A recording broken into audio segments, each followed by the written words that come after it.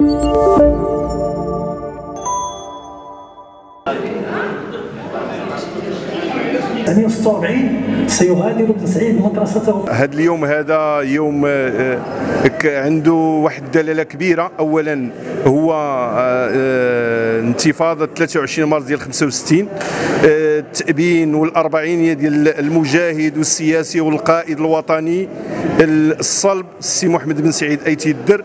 بهذه المناسبة ديال الذكرى 23 مارس الرمزية ديالها هو أن كاع الملفات ديال الفساد ديال التعليم ديال لا ديمقراطية ديال الاستقلال الشكلي من جديد كنعلنوا بأن باقي المغرب على حاله لم يقع أي شيء.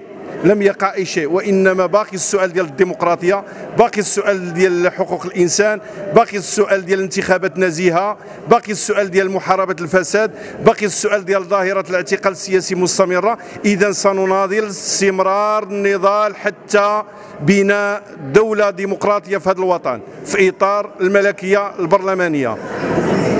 وهنا كنبغي نهنئ كل الشرفاء كل القوى الديمقراطية كل المناضلين كل الجمعيات المجتمع المدني اللي حاضرة معنا كت في هذا اليوم التأبيني لأن السي محمد بن سعيد هو رجل ديال الوطن ديال المغرب ماشي غير ديال الحزب.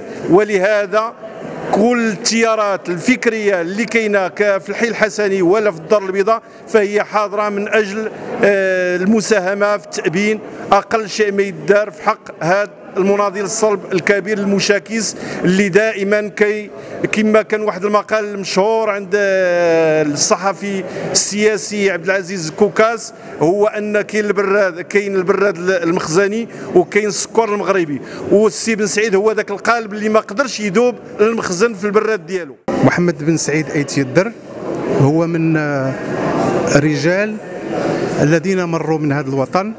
وخلوا بصمات بالمواقف ديالهم الشهمة والشجاعة آه، منذ آه، الشباب ديالو منذ آه، أن كان تلميذا ثم طالبا ثم اختياره الكفاح المسلح عوض المكتب عوض العمل السياسي. ثم بعد رجوعه رجوعه من المنفى حيث اختار أن يؤسس حزبا سياسيا هو منظمة العمل الديمقراطي الشعبي واختار العمل السياسي داخل آه، آه، المؤسسات.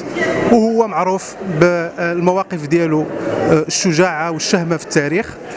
أول من ذكر السجن ديال تازمه مارت. في وقت اللي كل شيء كان خايف أنه يتكلم عليه داخل البرلمان.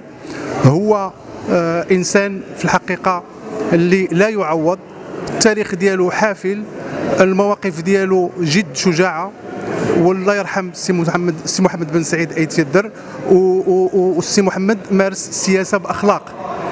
حاليا الأخلاق وعرف معنى الحياة الحياة السياسية بدون أخلاق لا لا لا لا, لا تعتبر.